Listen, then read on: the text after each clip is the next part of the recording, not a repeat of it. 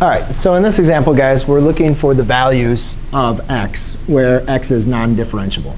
So obviously what we've huge thing we talked about today was when it's not continuous, then the function is obviously not differentiable, right? That's kind of the obvious. So at x equals 0 is one place where it's non-differentiable. Um, but then we've got to kind of remember a couple other ways that things can that functions can not be differentiable.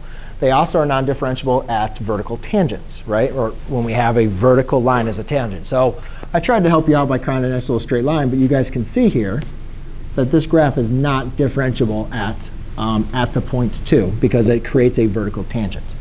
All right, and remember like the uh, um, cube root function has that vertical tangent. And if you take the derivative of the cube root, you see that there's an x in the denominator, and that's why it's not differentiable.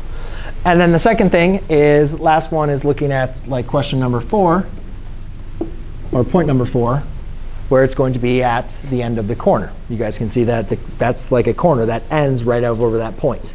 So therefore, that again is also a point where it is not going to be differentiable. So at x equals 0, 2, and 4, the function, let's call this g of x.